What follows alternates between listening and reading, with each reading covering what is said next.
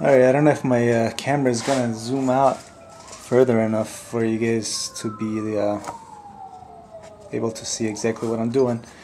But uh, basically, you get the get the bolt off here, make sure it's off. Then you just uh, pull it as tight as you can.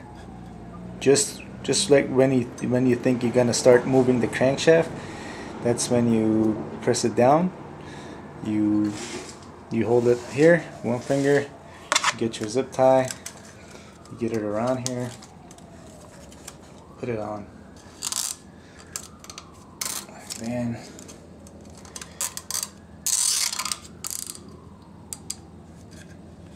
tie it down. And then you do the same thing uh, a little bit further back so you're sure uh, it's not going to move while you're trying to get it over the, the, the tensioner. Alright, here comes the tricky part. Um, I think I forgot to get a mention this when I uh, before I took off this roller, but you need to uh, get the approximate location of where this tab is going to be pointed at before you take it off. Just get a make, make a mental note and put it roughly around the same. Um, you can adjust it. Just it takes it needs a special tool, but you can adjust it with some just some needle nose pliers. pliers. You know, because if you leave it here and then you take this pin out, um, this piston is going to travel way too high. There's a certain space that we need to maintain between the piston. So if you you know you just want to make sure you get it in the right right area and the, the space we need to maintain between the piston and this this part of the the tensioner the roller is 6 to 10 millimeters and we're going to be able to measure that by uh, using uh, drill bits you know get an 8 millimeter drill bit and see if it can uh, squeeze in there and then you're good. But before we do that we need before we take this uh, tab out of the piston we're gonna get this to this area, to roughly around that area, and tighten this bolt up right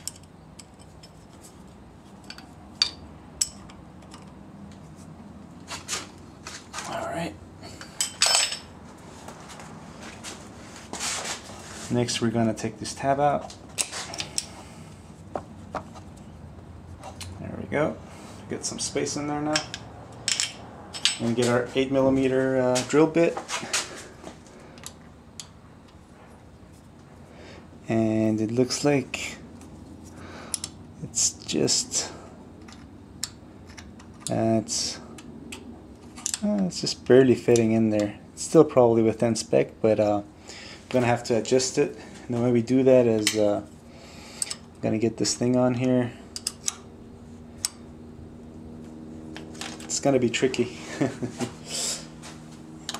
I'm gonna get this plier on. Gonna make sure it's in there tight. Hold it in place. Hold it in place. Make sure while when you loosen this, it doesn't jump back. And uh, then you're just gonna let go of it slightly when you loosen this nut.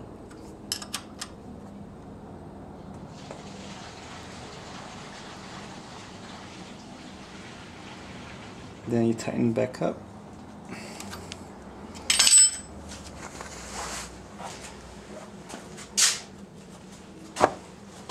and you measure it again. Ah, just so close. Do it again. You know guys, actually I think I need to uh, clarify something here.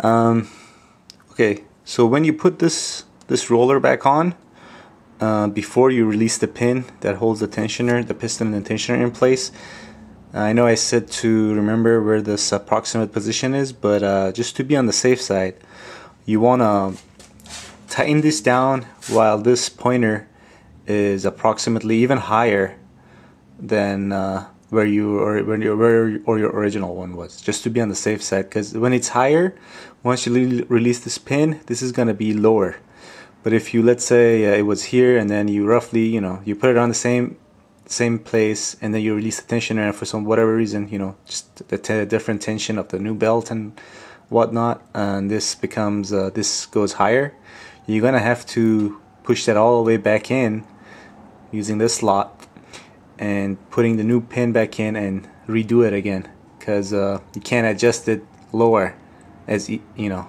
like the same way you can adjust it to come back higher hope that makes sense. Before we start turning our crankshaft we want to make sure we cut the zip ties. Alright we got our harmonic balancer back on and we line up our mark we made earlier. And now we double check it with the camshaft uh, mark and we can tell that it's about uh, half a tooth off. Um, you know I'm not gonna worry about this too much. Uh, I've done a lot of timing belts well not a whole lot but done timing belts on a lot of different cars and uh, sometimes they come off by half a tooth when you go to line them back up but uh, it's uh, usually not a problem. It's you know if, if it's off by clearly by more than one tooth then you've done something wrong but it's just like you know it's iffy and you can say you consider it it's considered half a tooth then you should be okay. Um, so yeah but before we I put start putting everything back on I'm gonna hook up the alternator back on and then I'm gonna start the engine and uh, also make sure you put the put the thermostat uh, the hose that goes to the thermostat housing back on so you don't get water going everywhere. And then I'm gonna put the alternator back on and then it's gonna start the engine let it run for you know 30 seconds or a minute. You know if it's if your timing belt is off it's gonna set off a code you know you're gonna get some uh, codes. And then that way uh, you can go in you go you can go back in and uh, start uh, you know trying to fix the problem all right so we just we just finished uh, putting uh, some coolant in the car and I ran the car for a couple of minutes and it ran without any problems no check engine light no uh, no bad idling or nothing yeah, while putting the car back together, I never really run into any problems. Uh, one thing I want to point out is though, if you want these uh, your headlights and your uh, fenders to to line up correctly, what you want to do is before you lock down this, uh, before you put in this uh, shock absorbers that connects to your uh, front bumper, what you want to do is have someone either pull up on the lock carrier or get your knee underneath underneath it and push it up as you're tightening down one of those screws. That way you know you can adjust it and make sure it lines up correctly. Otherwise it's gonna look pretty ugly. Or uh, it's gonna look like your car's been in an accident to a to a unsuspecting uh, observer. Uh, but uh, yeah you know we're all done here and uh, hope this video helps people out there and uh, if you guys like the video give it a thumbs up.